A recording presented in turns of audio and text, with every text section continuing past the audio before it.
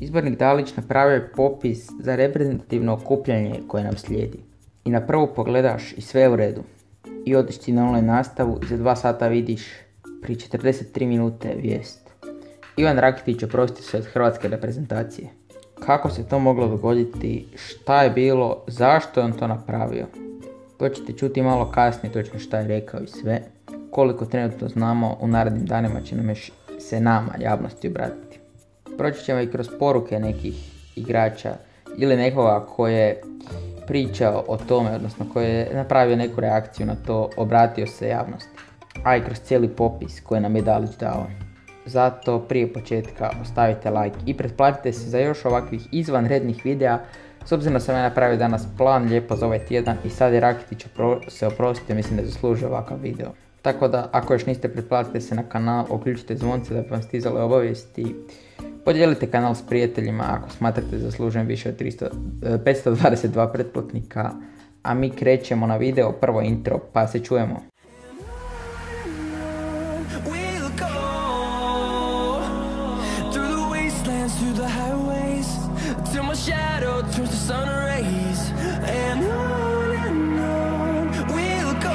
Obršta od hrvatske reprezentacije mi je najteža odluka u karijeri, ali osjetio sam da je ovo trenutak kada moram prelomiti i donijeti tu odluku. Uživao sam u svakoj utakmici koju sam odigrao za svoju domovinu, a nezaboravni trenuci svjetskog prvenstva ostaće mi među omiljenim uspomenama u životu. Uvjeren sam i dalje da imamo sjajnu momčad koju čeka svjetla budućnost. Svojim prijateljima i suigračima u reprezentaciji želim svu sportsku sreću svijeta u narednim izazovima, a u meni će imati najvećih navijača. Evo, to je izjava Rakitića kojom se oprostio od Hrvatske nogometne reprezentacije za koju je upisao 106 nastupa, zabio je 15 golova. Ivan Rakitić trenutno ima 33 godine i u reprezentativnu mirovinu otišao danas. Nakon transfera u Sevilju iz Barcelone činilo se da će sad još proigrati i biti još bolji za Hrvatsku, ali on je očito mislio drugačije. Rakitić tu odluku nije donio sam, on je razgovarao sa Modrićem, sa Dalićem, sa Šukerom, i sa svima, a u narednim danima će nam nešto detaljnije reći o svojoj odluci. A Dalić na to kaže, razgovarao sam s Ivanom koji mi je objasnio svoje razmišljanje i razloge zbog kojih se odlučio na ovaj potez. Meni je kao izborniku žao što neće nastaviti igrati za Hrvatsku, ali poštujem to naravno, njegovu odluku, kao što je to bilo i s Mandžukićem, Subašićem i Čorlukom nakon svjetskog prvenstva. O njegovoj ljubavi prema hrvatskoj reprezentaciji dovoljno govori što je u zahtjevnoj situaciji odabrao upravo Hrvatsku ispred Švicarske u kojoj je odrastao.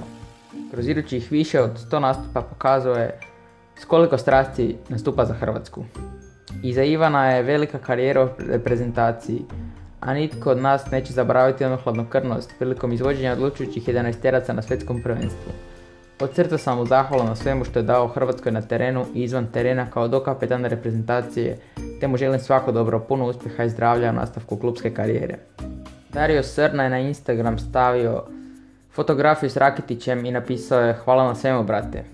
Nakon toga se javio Mandžukić koji je na Instagram stavio sliku s Rakitićem i rekao je Sredan sam što smo zajedno odživjeli toliko velikih trenutaka s Hrvatskom. Bilo mi zadovoljstvo dijeliti s tobom tereni slačionicu, pobjede i poraze, suze i smijeh. Ivan Rakitić, možeš biti ponosan na sve što si ostvario s Hrvatskom. A sada možemo konačno jednom u miru pogledati utakmicu reprezentacije. Iako znaj, lakše igrat nego gledat.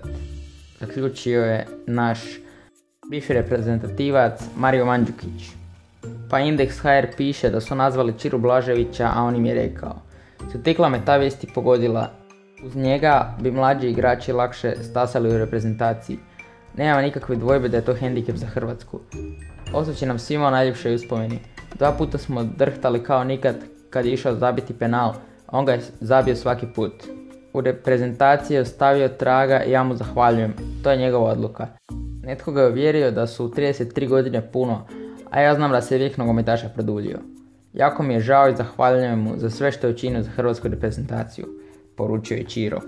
Pa skačemo do Transfermarkta koji kaže o Rakitiću Vrijednost 20 milijuna eura, klub naravno Sevilla. I sad ono zašto sam i došao nastupi za reprezentacije.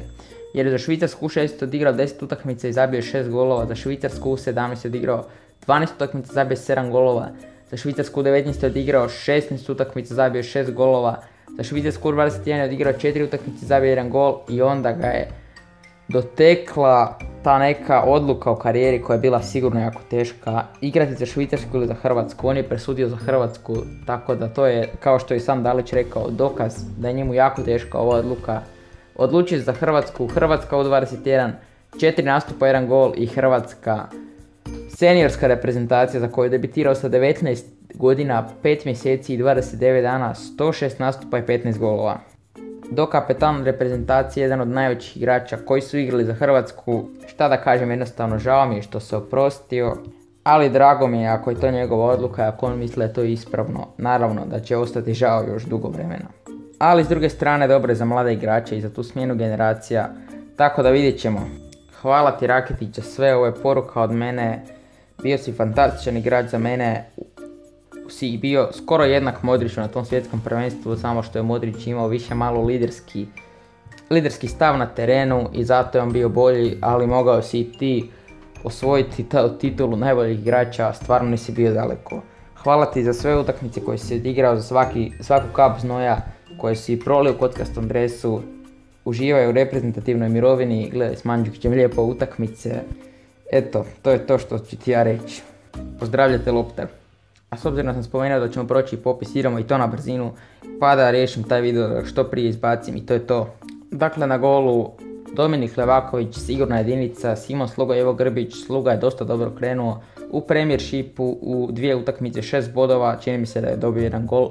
Grbić u Atletiku naravno nije branio, ali u Atletiku je sa oblakom, to je dovoljno za reći. Branići, Domagoj Vida, Dejan Lovren, Šime Vrsaljko, Tin Jedva i Borna Barišić, Duje Čaleta Car, Dario Milnjak, Filip Uremović i Domagoj Bradarić koji je tu došao umjesto točno ne znam koga jer sad imamo tri ljeva beka tako da ne znam točno tko je ispao ali neću sad tražiti, nemam previše vremena za to. E, Vida u Bešiktašu standardan isto kao i Lovren u Zenitu, Varsaljko se muči s odljerama, sad se vraća, Jedvaj sad se vratio s posudbe u Leverkusenu, vidjet ćemo šta će biti s njim, Barišić e, jednostavno prerastao je tu škotsku ligu, mora nešto napraviti. Čalete car odličan u Marseju. Melnjak dosta asistira sad u zadnje vrijeme u Turskoj ligi, također možda da prođe neki jači klub. Uremović u Ruskoj ligi sad je zabio neki gol i Bradarić je asistirao neki dan u Francuskoj ligi. Veznjaci spomenuo sam već nema Rakitića, dakle Modrić, Kovačić, Brozović, Badelj, Rok, Pašalić, Vlašić. Modrić neće trošiti riječi, Kovačić u redu, ali još tražimo onaj bum od njega. Brozović, najbolji zadnji vezni na svijetu za mene i najpocijenjeniji igrač, ako nije najbolji zadnji vezni tu je Uskante i Kimiha. Pa zatim Badil koji se probudio, prošao je u Dženovu, sad je asistirao. Rok, Pašalić, Vlašić su još trojac. Rok u Kaljariju, sad se ja mislim vratio u Napoli, vidjet ćemo šta će biti s njim. Pašalić u Atalanti, fantastično igra, Vlašić je prerasao u Rusku ligu. Napadači Perišić, Kramarić, Rebić, Brekalo, Petković, Budimir, Čolak. Perišić mora naći novi klub, Bayern ga je otpisao, Inter ga ne treba, vidjet ćemo šta će biti. Kramarić u Hoffenheimu trpa, sad je zabio hat-trick. Rebić u Milanu bi trebao dobro igrat, Brekalo traži novi klub, Petković traži novi klub. Budimir je u drugoj španjolskoj ligi, vidjet ćemo šta će biti s njim Čolak je u pauku od jučer. Pred pozive su dobili Lovre Kalinić, Mislav Voršić, Mileš Korić, Mio Caktaš i Kristijan Lovrić. Tako da to je ukratko to od ovog videa, šta vi kažete na poziv na Rakitića, kako vam se to sve čini, pišite mi svoj stav u komentare, apsolutna legenda, hvala mu još jednom za sve što nam je dao. Ako vam se sviđa ostavite like, idemo do 50 lajkova da nas YouTube baci recommended. Pretplatite se na kanala koji još niste da dođemo do 1000 do kraja godine, to pokušavamo. I to je to, nadam se da ste uživali, pozdrav!